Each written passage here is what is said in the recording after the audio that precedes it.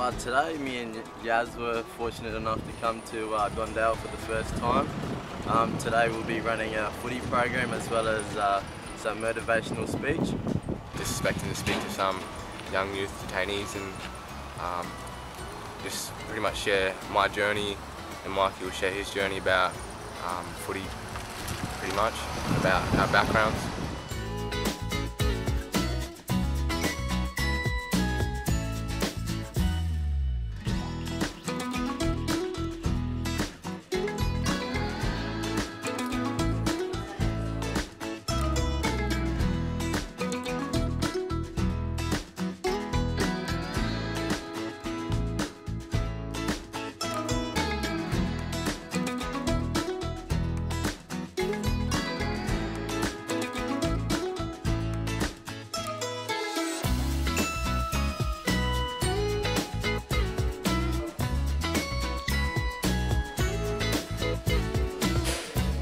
So um, it's my first time at the detention centre.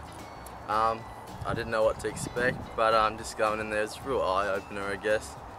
Um, so we sat down with uh, the low detainee kids, um, did a bit of skills, did a bit of hand passing, a bit of fun activities around Bahoji. Um, yeah, we both enjoyed it. Um, you know, I ho hope the kids got, get a lot out of it. Um, we talked about, uh, you know, just discipline and making the right decision and um, we even talked about goals and what they want to do um, when they get out. So um, it's interesting to see or hear what they said. Um, you know, hopefully we can find out in the next few weeks or a couple of months to see how the kids are going and later in life. So yeah, definitely they've got a lot of talent and they're all good kids and everyone makes mistakes.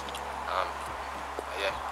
So um, just hopefully just us two being here, I hope you know we've made a impact on the kids and hopefully they looked up to us as role models and yeah, hopefully later in life we can see them with Thunder.